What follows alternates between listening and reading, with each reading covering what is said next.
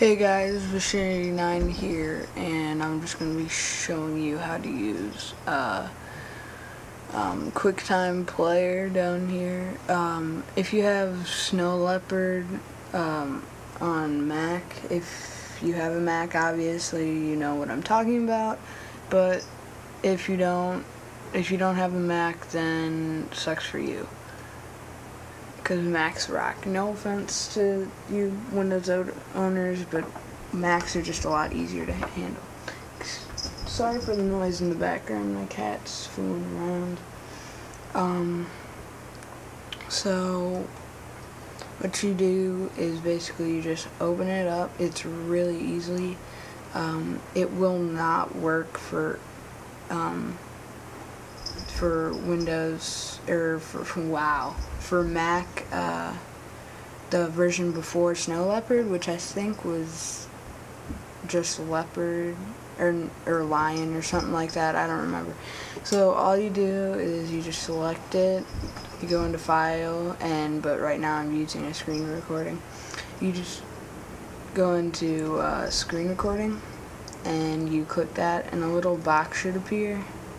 So it'll say record, but you have to turn the sound up and in order for your voice to be heard. That means you do not have to use um, a new audio recording. Okay, so new screen recording includes the audio in it. Uh, movie is just when you record your face, so yeah. Uh, sorry I couldn't really show you, I'd open a new window, but you can't really see it. And then in order to upload videos, you just go into share uh, to YouTube. It, I don't know what MobileMe is, and I don't know why you'd want to upload to iTunes. And then, hey, stop recording.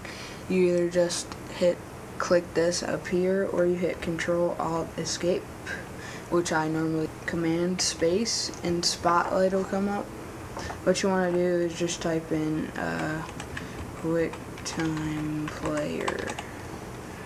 So I didn't put a space in between there, and it should pop up. If it's not this color, then that means it will not work.